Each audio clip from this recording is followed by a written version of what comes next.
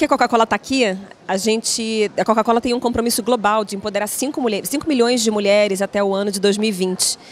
É, a gente acredita muito no, no, no, potencial dessas, dessas empreendedoras e o que a gente sabe é que quando você investe numa mulher, 90% de tudo que ela ganha da renda incremental, ela reinveste na comunidade.